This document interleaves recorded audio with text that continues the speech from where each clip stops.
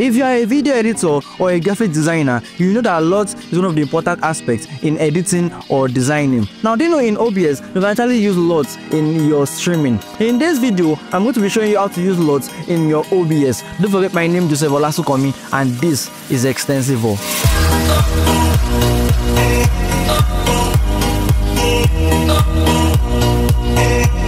Alright, so this is my OBS over here and first of all I'm going to be adding my camera. I'm using OBS Ninja right now with my tab. So I'm going to be adding it. We'll know to add it. I did a video on it earlier on how to add your camera using OBS Ninja. I'm using the OBS Ninja here. Look at it here. And then I'm going to be adding it here. Yes.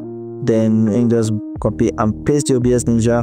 Then the width, you know the width which is the custom my 1020 by 1080 configure audio yes and then let me see think that should be all then after this a bit of time it's gonna load. People have been telling me it's just black screen just black so at times you just have to wait let it load a bit let it wait, wait load a bit. So yes this is over is loaded. Okay so i did a video earlier on on how to add your LUTs in vMix yes. And now i'm going to be showing you how to add your LUTs in OBS in OBS so this is my camera over here. You can add any camera actually. Add the camera actually. Let me just use the normal studio mode you can add any camera actually, not necessarily this. You can add your video capture, can add, yes, I don't have any camera connected right now. But if you have any camera connected, you can add it over here and then bring it in. Once you bring it in, let me delete this.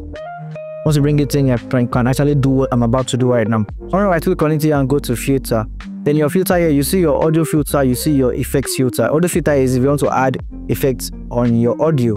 And then we have the normal filter here, so the video we're going to go to plus icon over here and then we're going to see apply LUTs yes apply LUT i'm going to be using this apply LUTs then i'm going to browse where the LUT is on our system and then okay this is the normal um the normal default LUT that came with the vMix. But instead i think i have my own custom LUT over here which i'm going to be using.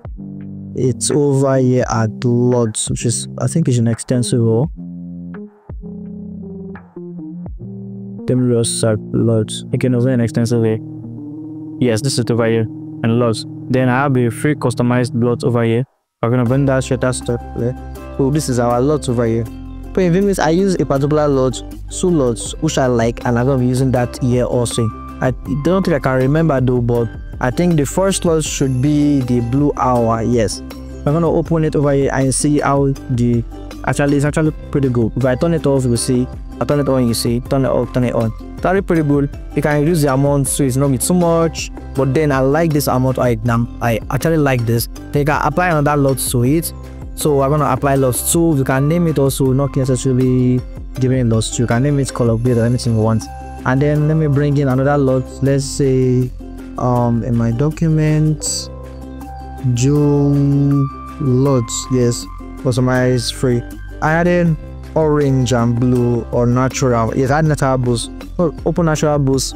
Can you see the difference over here now? If I turn it off, you see this. If I turn it on, you see this. This is kind of giving it, it's too dark, so I don't really like this. I don't really like this. Instead, I can reduce this. Uh, no, from the atmosphere, from the environment, it's not hello working for me. So let me just change it and put another a LUT Let's see, let's see, let's see. Um, yeah, I think I wanted to go for something dark, and I saw dark and somber first. Dark and somber. Okay, no, no, not this, not this. Let's see, lost, no, not lost there. Orange and i kind of like this actually. I like this. Yeah. So I'm not just gonna make it this way. You can see where gonna make it this way. Uh huh. To this we see before let me turn off this is before actually and then adding LUTs to it. This is the after which is giving my build. What i like actually is giving my cloth which is blue actually and for me just see that it's faintly blue or at times you can take it dark but now it's giving my blue clothes blue showing that yes it's actually pretty blue actually blue and then you can apply some color correction. I did it on vimeo also where i can correct my colors. You can apply it there. You can you know color grade if you know to color grade well can increase this. So you can turn off your LUTs if you want to do your LUTs customized by yourself increase the gamma this is the light and dark. Um if i just give it this way this is actually how i add um how i edit my video when i'm doing it in my Premiere Pro when i'm editing after my tutorial video. Actually um edit and you know color grade the body the scale and everything. You can leave this like this kind of natural because normally the office is a bit just clear dark so yeah brightness. Okay let's do the brightness. Let me see the brightness is zero. Yes and then saturation increase the saturation a bit so my skin shows the hue shift I'm gonna use hue shifts more. Yeah I think this should pretty much be it. Yeah. So let's say before this is before so whitish in way. And then after actually a pretty cool tone. After before and after. Then I can have this on it can add this on it. But now just bring this underneath. So the color correction is first. After the color correction then we have this. Then we turn this off if we can now reduce. This as it is then we can just do this my skin color. And then for this i'm just gonna bring it pretty down like this. I think i pretty like this. I like this. This is before now. This is before which is absolutely white. Absolutely white. And then we have the after which we're adding all this together from okay let me start from the first on this then we have this and then we have this. Now before normally you might not actually think your camera needs color correction or color grade or a LUT. You might think it's actually clear just like how when i added my VDO.Ninja i think it's actually clear until you added it and then you know that oh can actually be better. Oh yeah the skin is really better.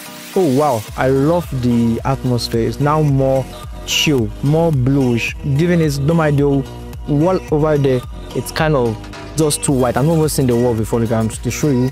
I've not seen the wall like it's just too white in a way. But then now you can see it actually like it just brings it tones down all the old white tones it down and then this gives me my skin more color. The yellow on that frame it gives it more color. Look at it over here it gives it more color. And then this is actually just a feel like the general feel of it. And i kind of like this actually. I like this. So that is how you actually bring your color correction your LUTs into your videos color grading your camera to make it more good. If you don't like this you can actually work on it more. There's some colorists actually that are more exceptional in this like their job is to literally color your camera and stuff. But then if you just have an idea it can actually work for you. Yes it can actually work for you in the future. If you don't like anything you can do it the way you like it. Most times i might just use my color correction of this alone. Pretty good for me. But if i want to add my skin color and just make this my skin color and i think this is good for me already. Not too much of anything. Good for me. And yes that is how you bring your LUTs and how you color grade in your OBS thank you very much for watching. If this video has been useful to you please don't hesitate to like comment share subscribe. Turn on notification bell. Please subscribe please and please subscribe. I'm begging. Please subscribe. Yeah thank you very much for watching once again. Uh, my name is joseph olasiponi this is Extensiveall see you in my next video